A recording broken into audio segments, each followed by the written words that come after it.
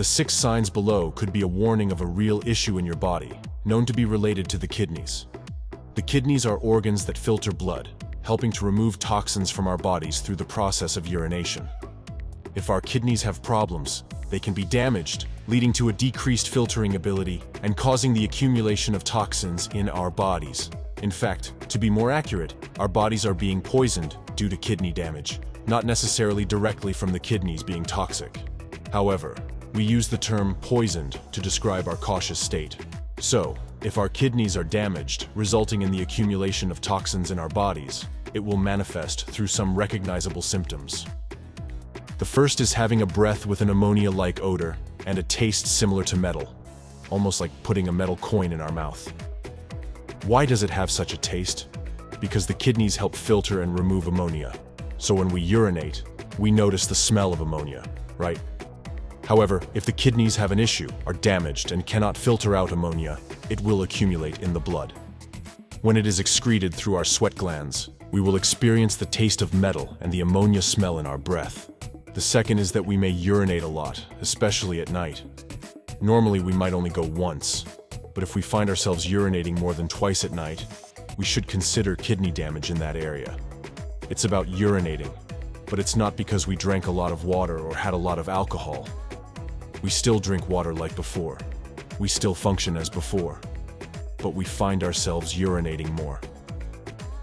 This could be due to the kidneys losing their filtering ability, causing the water to flow out more, leading to us urinating more.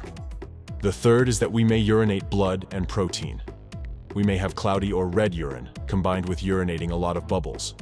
The fourth is that we may have symptoms of swelling, especially around the lower eyelids or ankles. This is the most obvious sign because when we can't expel toxins from our bodies, it can lead to the condition of water retention in that area, causing us to experience heavy eyes early in the morning or swelling in our legs. The fifth is that we may have high blood pressure.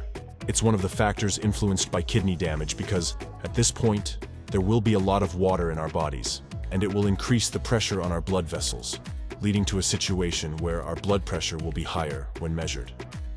This doesn't necessarily mean we have high blood pressure. But if we see many symptoms at once, like Dr. Ngok described from the beginning until now, then we have to consider the issue of kidney damage.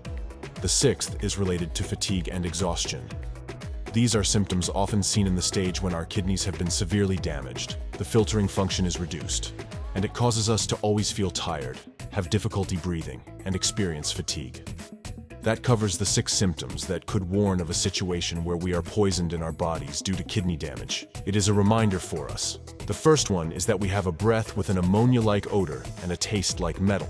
The second one is that we urinate a lot, especially more than twice at night, not because we drank a lot of water or had a lot of alcohol. The third one is that we may urinate blood and protein, and our urine may be cloudy or red with a lot of bubbles. The fourth one is swelling, especially around the lower eyelids or ankles. The fifth one is that we may have high blood pressure. The sixth one is related to fatigue and exhaustion, feeling constantly tired. Have these tests done, because kidney disease is something that can be stopped and prevented. You are the best advocate for your health, and if you don't do it, who will thank you for watching? I hope this was helpful, foreign,